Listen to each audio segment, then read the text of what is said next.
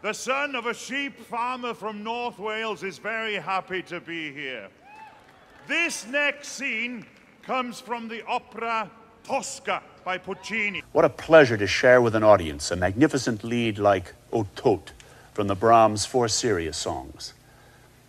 I'll be joined by another friend, a longtime colleague, John Spong.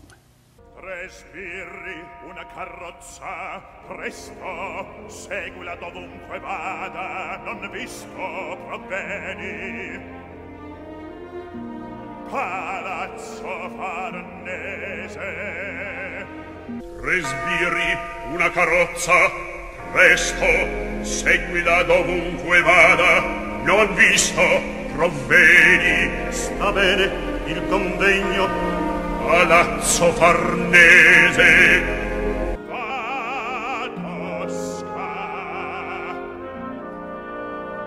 Nel tuo cuore s'annida scarpia. Va Tosca nel tuo cuore s'annida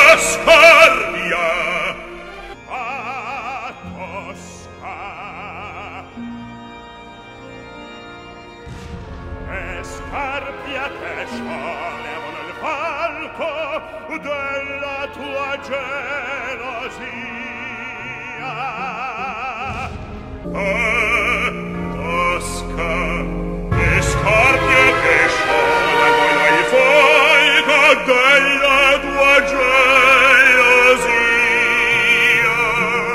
Quanta promessa nel tuo pronto sospetto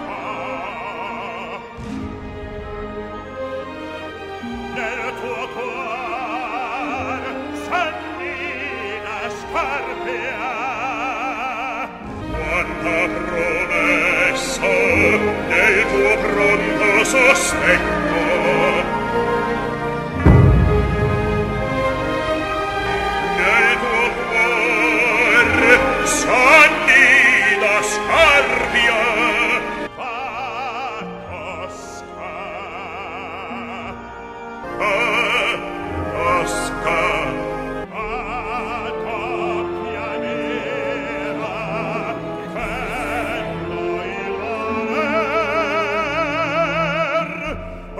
capo del ripelle